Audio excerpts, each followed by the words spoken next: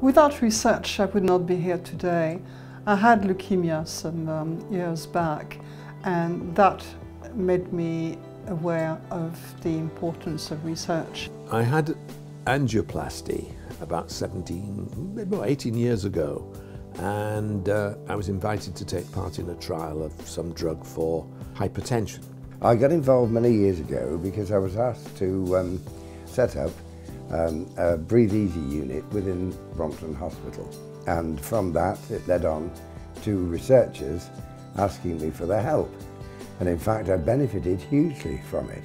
My experience of um, being involved in, in research has been very, very rich. I think one is really very lucky when one has retired, in fact, to be allowed to learn. This is part of my life, to help, not only spiritual, spiritually, but physically too. I, can, I, I love to help people.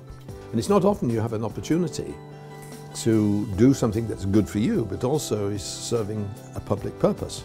Because clearly this sort of research is very important, and I've always felt that. I was checked out um, on a regular basis, my heart, my kidneys, my liver, you name it, my uh, fat content, you know, of my, all my limbs and my uh, um, BMI.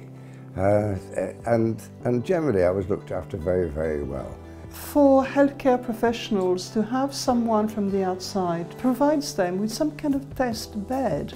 There is someone there who's going to be asking questions, who's going to be working with them, who's going to do a lot of listening, but from this listening may actually bring in a slightly different point of view. Everybody puts in a little bit, you know, like leaves on a tree.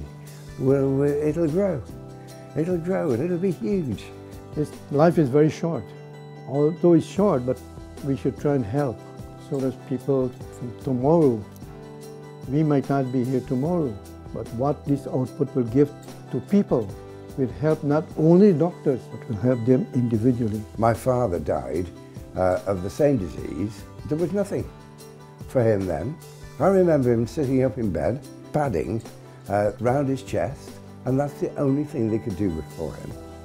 Now, we've got a huge amount of help, and it's all done through research. Anybody who's approached to take part in the kind of trial I've been involved in should seize it. It's a huge advantage to them because they will be carefully monitored during the period and they will not find it stressful and they will know for sure that they're serving a very useful public purpose. Seeing, you know, the way everything has been done, and for myself, it makes me more determined to do as much as I can. And not only for the doctors, but to everyone in there. I want to give them, from my heart, a big thank you to. Get involved.